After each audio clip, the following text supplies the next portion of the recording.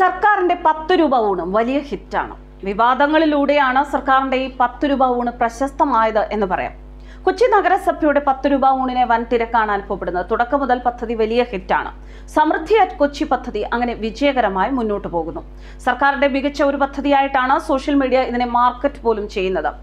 എന്നാൽ ഒരു ചില്ലിക്കാശ് പോലും വാങ്ങാതെ ഒരുപാട് പേർക്ക് ഊണ് നൽകുന്ന ഒരു ക്ഷേത്രമുണ്ട് നമ്മുടെ കേരളത്തിൽ. ഒരു രൂപ പോലും വാങ്ങാതെ ഒരുപാട് ആളുകൾക്ക് ഈ ക്ഷേത്രത്തിൽ ഭക്ഷണം നൽകുന്നു. ആ ക്ഷേത്രത്തെക്കുറിച്ച് പറയുകയാണ് സംവിധായകൻ ജോൺ ഡിറ്റോ.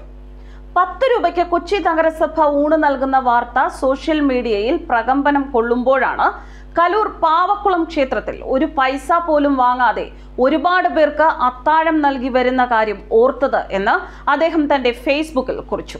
പത്ത് രൂപയ്ക്ക് കൊച്ചി നഗരസഭ ഊണ് നൽകുന്ന വാർത്ത സോഷ്യൽ മീഡിയയിൽ പ്രകമ്പനം കൊള്ളുമ്പോഴാണ് കലൂർ പാവക്കുളം ക്ഷേത്രത്തിൽ ഒരു പൈസ പോലും വാങ്ങാതെ അനേകർക്ക് അത്താഴം നൽകി വരുന്ന കാര്യം ഓർത്തത്. നഗരത്തിലെ തെരുവുകളിൽ കഴിയുന്നവരും അന്യ സംസ്ഥാന തൊഴിലാളികളും പശിയടക്കുന്നത് ഇവിടെയാണ്. അത്താഴപ്പട്ടിണി എന്ന തീക്കടൽ അവർ താണ്ടുന്നു. വെറുതെ ഓർത്തതാണ് ജോൺ ഡിറ്റോ വ്യക്തമാക്കി. അതേസമയം പൊതിച്ചോറിലെ കറികളെക്കുറിച്ചുള്ള വിവാദം ജനകീയ ഹോട്ടലുകൾക്ക് തുണയായി എന്ന് വേണം കരുതാൻ. കഴിഞ്ഞ മൂന്ന് ദിവസത്തിനിടെ അയ്യായിരത്തി അറുന്നൂറ്റി എൺപത്തിനാല് ഊണുകളാണ് അധികം വിറ്റത്. ജനകീയ ഹോട്ടലുകളിലെ പൊതിച്ചോറിൽ ആവശ്യത്തിന് കറികളില്ല എന്ന ഒരു ചാനലിൽ വന്ന വാർത്തയാണ് വിവാദത്തിന് തിരികൊളുത്തിയത്. ഇതോടെ കഴിക്കുന്നവരുടെ എണ്ണം വർദ്ധിച്ചത് വളരെ പെട്ടെന്നായിരുന്നു.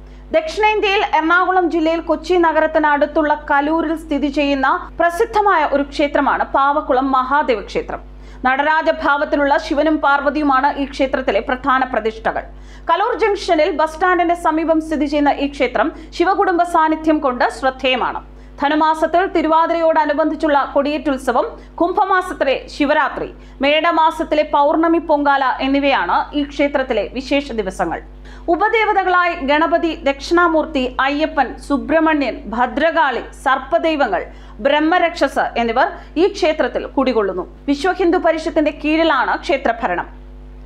അതുപോലെ തന്നെ രുചി വൈവിധ്യങ്ങളുടെ നിറക്കൂട്ടുകൊണ്ട് ലോക ജനതയ്ക്ക് മുന്നിൽ മഹോത്സവം സൃഷ്ടിച്ച മലയാളികളുടെ മറ്റൊരു ഭക്ഷണമാമാങ്കം നടക്കുന്ന അവസരമാണ് ആറന്മുള വള്ളസദ്യ. പത്തനംതിട്ട ജില്ലയിലെ ആറന്മുള പാർത്ഥസാരഥി ക്ഷേത്രത്തിലെ പ്രധാന വഴിപാടാണ് വള്ളസദ്യ.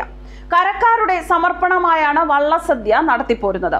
രുചിയുടെ പെരുമ വിളിച്ചോതുന്ന എഴുപതിലേറെ വിഭവങ്ങളാണ് സദ്യക്ക് വിളമ്പുക. സദ്യക്കായി ആയിരങ്ങളാണ് ഇവിടെ എല്ലാ വർഷവും എത്തിച്ചേരുക. വള്ളപ്പാട്ട് പാടി ഭഗവാൻ പാർത്ഥസാരഥിയെ തൊഴുതു വണങ്ങി തുഴക്കാർ സദ്യ കഴിച്ച് മടങ്ങുന്നു. വള്ളസദ്യയുടെ പ്രൗഢി വള്ളപ്പാട്ടിന്റെയും ആരവത്തിന്റെയും ആർപ്പുവിളികളുടെയും ചുവടുകളുടെയും ആവേശത്തിൽ നിറഞ്ഞു നിൽക്കുന്നു. വള്ളപ്പാട്ടിന്റെ ഈണത്തിൽ പാട്ടുപാടി വിഭവം ആവശ്യപ്പെടുന്നതും ഈ സദ്യയുടെ ഭാഗമാണ്.